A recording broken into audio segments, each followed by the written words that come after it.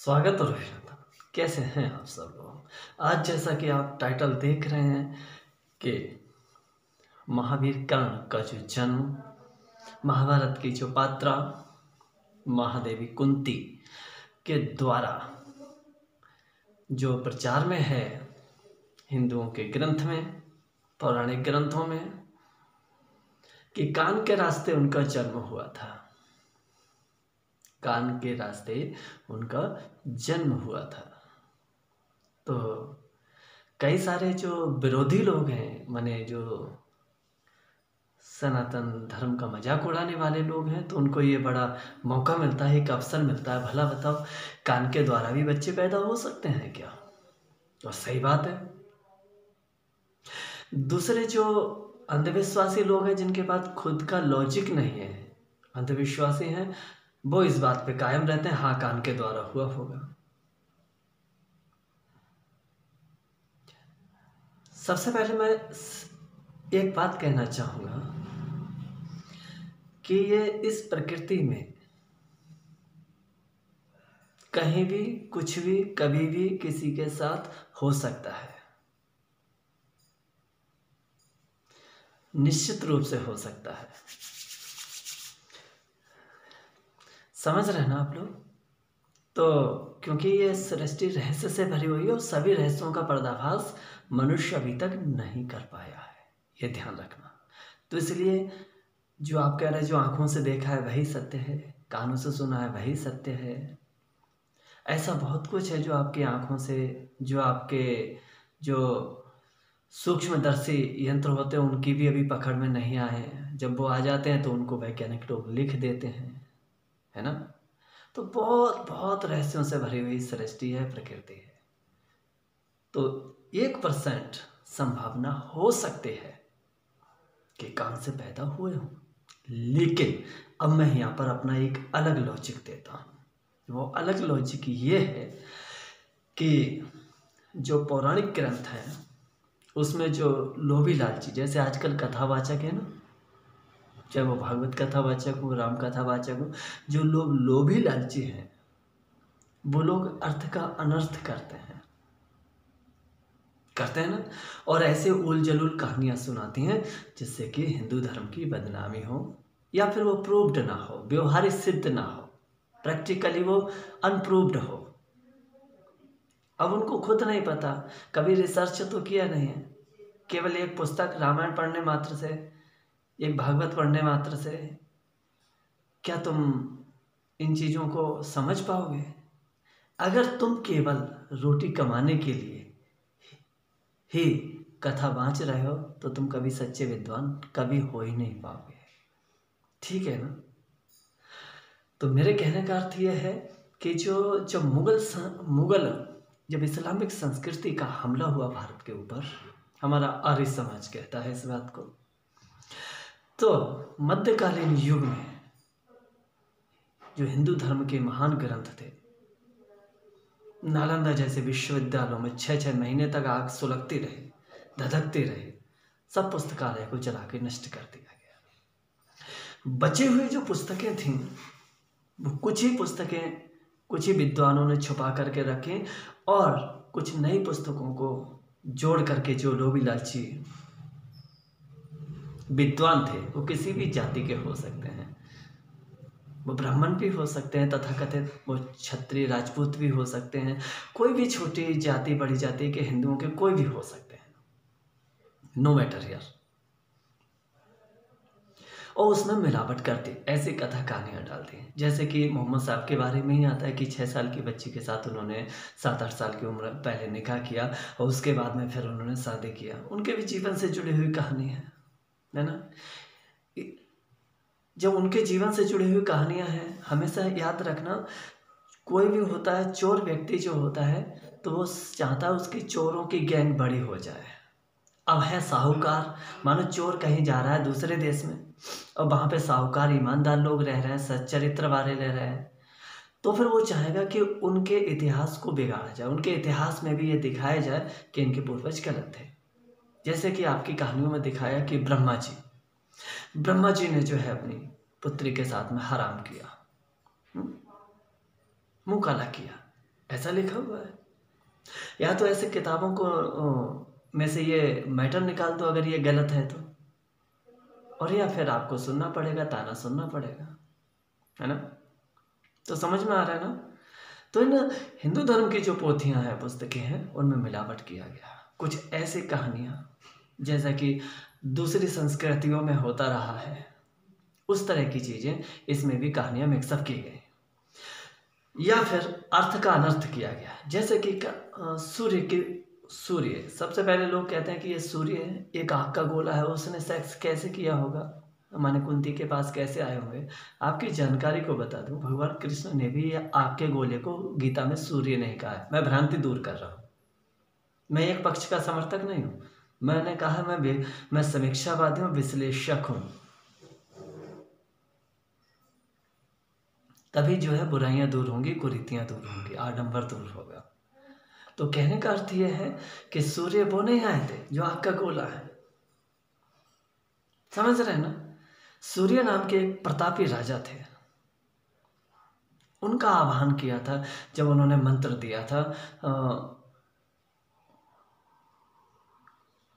कौन थे वो सबसे ज़्यादा क्रोधी? दुर्वासा। दुर्वासा ने उनकी सेवा से कुंती की प्रसन्न होकर के उस बालिका को मंत्र दिया था। मंत्र माने वो विधि बताई थी आह्वान करने की। वो किसी भी देवता, देव एक जाति विशेष रही है। हेलो।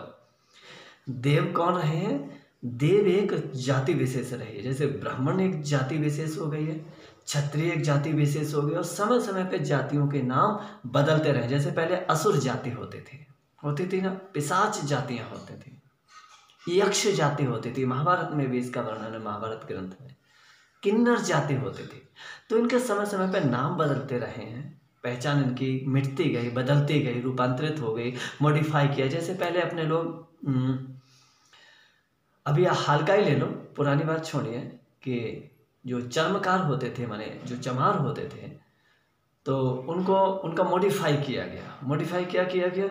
अब उनको उत्तर प्रदेश में या हरियाणा में उनको फिर जाटव है, जाटव कहने लगे हैं, है ना?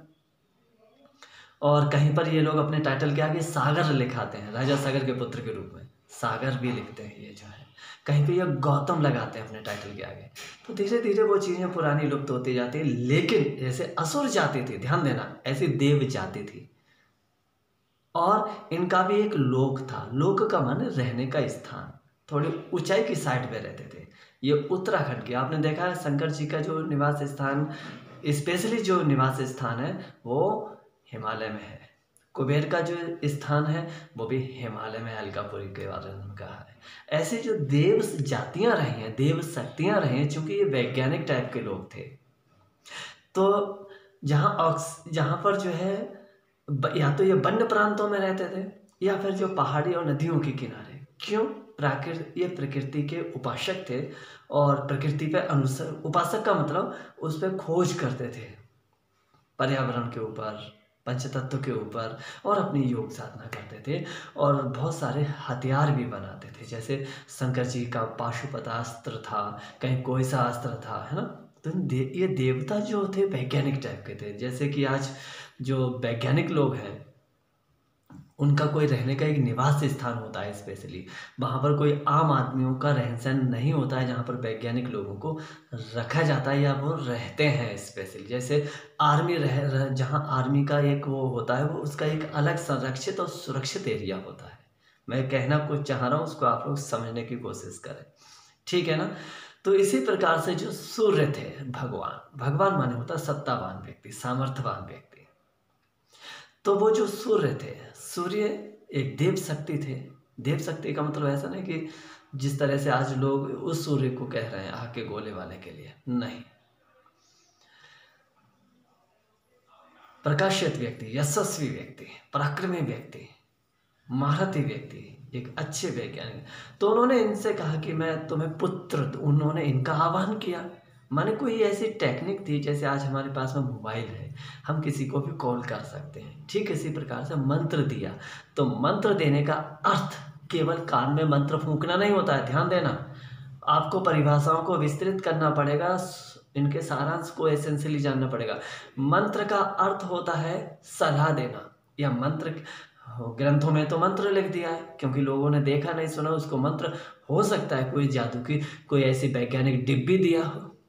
कोई ऐसा पदार्थ दिया हो, कोई ऐसा इंस्ट्रूमेंट दिया हो कि जिस पे वो डायल करने के बाद में उनका संपर्क जिससे चाहते थे उससे जुड़े हॉटलाइन दिया हो, कुछ हॉटलाइन का इंस्ट्रूमेंट तो ये खोज का विषय है। ठीक है ना?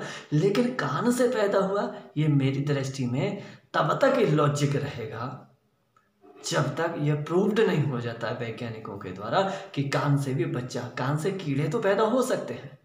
चूतड़ों से कीड़ा तो पैदा हो सकता है। है ना? कहीं से भी, नाक से भी हो सकता है, निकल सकता है। लेकिन मनुष्य के शरीर से मनुष्य की आकृति का कान के द्वारा पैदा हो जाना, ये इलॉजिक है। मैं इससे अभी तब तक एग्री नहीं करूँगा जब तक ये विज्ञान सिद्ध नहीं हो जाता है। तो आप भी तब तक इस चीज़ से असहमति रहिए और सुधार करे। फिर वो क्या था? तो इनका नाम कर्ण क्यों रखा?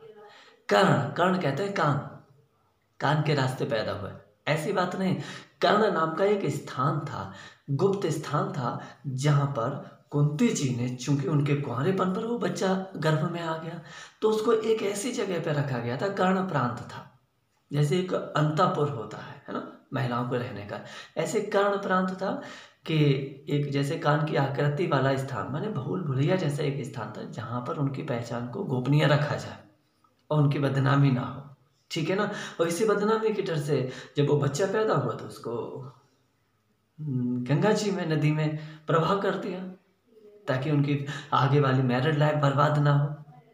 तो वो जो सूर्य थे सूर्य ने कहा आ, बताओ मेरे लिए क्या क्या एक मज़ेदार विषय है। तो कुंती जी ने कहा कि मैंने तो ऐसे ही उत्सुकता बस आपका आह्वान कर दिया मुझे कुछ नहीं चाहिए अब आप प्रस्थान कर सकते हैं। मैंने तो चेक किया था कि उनका जो इंस्ट्रूमेंट है दुर्वासा जी का जो मंत्र है, वो काम करता भी है या नहीं? उत्सुकता वर्ष किया था।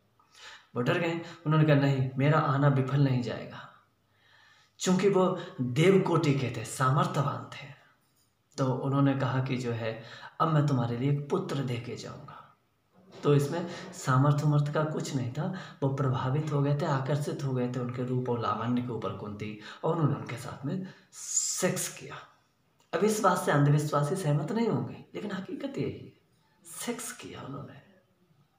उसके बाद में जब गर्भ स्थापित हो गया उनका, तब जा कर के फिर आगे की कहानी है। तो ये कर्ण कर्ण जो है, कान से पैदा नहीं हुआ, कर्ण प्रांत, जैसे कुंडलपुर नाम की जगह होती है होती है ना?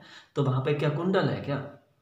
कुंडलपुर। पुर माने होता है निवास स्थान, और कुंडल माने कुंडल की आकृति जैसा कुछ स्थान।